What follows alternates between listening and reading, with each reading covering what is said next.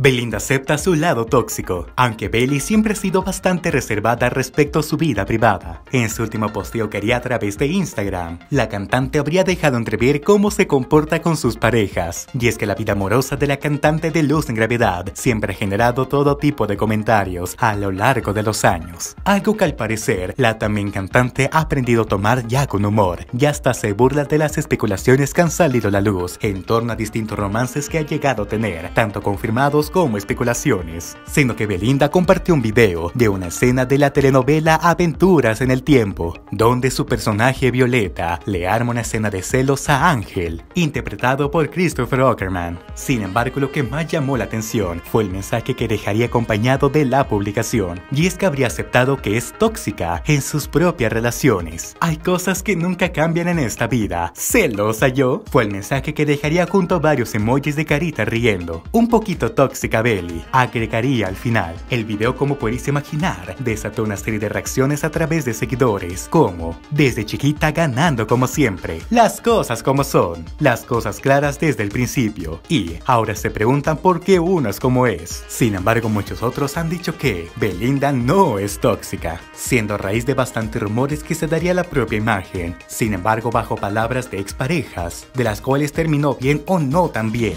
han declarado que realmente nada más lo pasó. Tal vez el que más ha hablado, Lupillo Rivera, destacando que él siempre atesorará lo que llevó con Belinda en su momento y que jamás hablará mal de ella. Pero dime, ¿tú qué opinas acerca de todo esto? ¿Realmente piensas que Belinda es tóxica? Déjame tu respuesta aquí abajo en la caja de comentarios. Si no te quieres perder nada, suscríbete a este canal, déjame tu me gusta y activa la campanita de notificaciones para no perderte nada. Mi nombre es Carto y nos vemos hasta el siguiente video. Hasta luego.